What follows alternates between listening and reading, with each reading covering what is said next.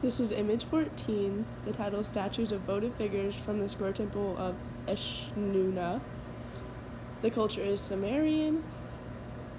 The creation date is 2700 BCE. It's a male figure, approximately 2 feet and 6 inches high. The function of the votive figures from the square temple of Eshnunna was to offer constant prayer to the gods of the donor's behalf. The open eyed stares most likely symbolize the eternal wakefulness necessary to fulfill their duties.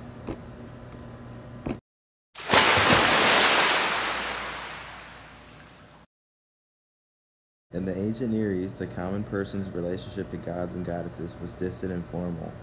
Deities were believed to inhabit cult statues housed in temples, and contact with them can only be achieved through votive offerings and the elaborate rituals of an intermediary priest. During the early dynastic period, a special type of votive sculpture like this male figure became popular for this purpose. A composite of geometric volumes, the figure illustrates an abstract style of sculpture. Except for the figure's beard and vertical lines with a robe, details have been eliminated and the body has been conceived as a conical shape from which angular arms project. The triangular forms are repeated in shape with the nose and, and the patterns of the beard. This abstract sculptural style existed alongside a more realistic one of that period, likely indicating that this sculptured form was a purposeful choice rather than lack of ability on the part of the craftsperson. Nature. Access to the small central shrines was probably limited, most likely to the priests who served the god's needs.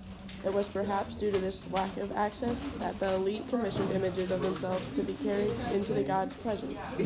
These statues embodied the very essence of the worshippers so that the spirit would be present when the physical body was not. All 12 are thought to originally have been set up as representations of worshippers in perpetual prayer before the deity. His large head has prominent eyes inlaid with shell and black limestone. A continuous arching brow incised across the forehead was also inlaid, perhaps with bitumen. Stylized tresses fall on either side of a rectangular beard, and both hair and beard show traces of the bitumen that originally coated them. The figure is bare chested and wears a skirt with a single row of long fringe at the bottom. A carry. Negative space creates an openness in the composition. Behind him is a large scale senior wife supporting the throne.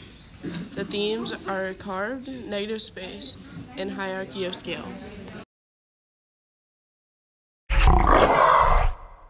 The votive statues highlight harmony of the gods and Sumerian people, physically presenting their statues. The mood of the work is very calm. Votive figures were made of were made as an act of worship of the gods and placed in a shrine before the image of the god. It shows the surrogate for donor offering constant prayers to gods with arms clasped reverently in supplication and awe. The form of the votive, votive figures are that they are of different height, denotating hierarchy of scale. Their hands are folded in a gesture of prayer. Their eyes are extremely large, shown to be in awe, spellbound, or perhaps staring at a deity. And their arms and feet are cut away. Their chin are all wedge shaped, and men are bare chested, and women's dresses are draped over one shoulder. The beards on the men are in a ripple pattern.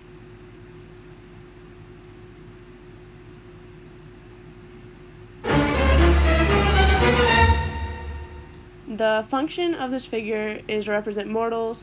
They would be placed in temples to pray before a sculpture of a god.